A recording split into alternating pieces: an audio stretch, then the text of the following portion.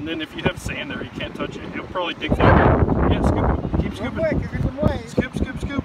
Keep scooping. Now he'll dig, he'll dig down to your hand. Watch. Especially when the water comes. Oh! Get it! Get him! Get him! Get him quickly! Yeah, like that.